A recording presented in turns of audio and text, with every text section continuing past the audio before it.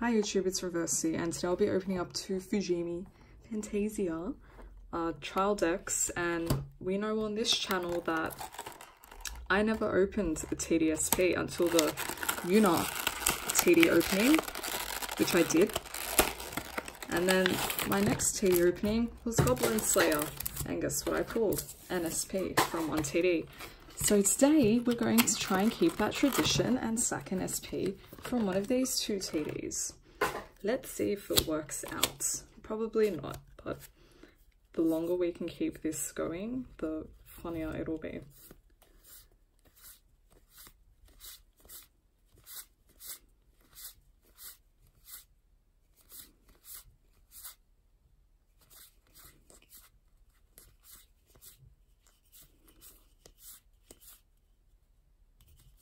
Let's say the artwork on these cards are really nice, especially this. This is actually a good card though. Oh, it just looks like a hand-on claw thing.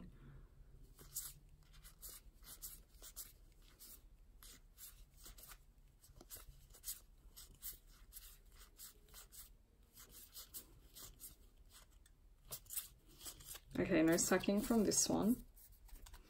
We're gonna go straight onto the second one and suck our third SP in a row.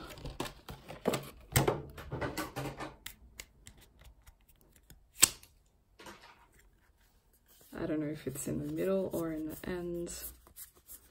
Just go through everything quickly.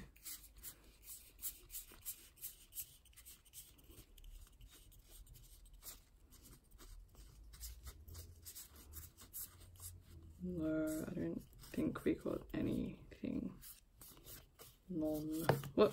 No. No sacking. Oh well whatever. I got two sps from the booster boxes so that's fine. And yeah so thank you for watching. I hope you enjoyed and goodbye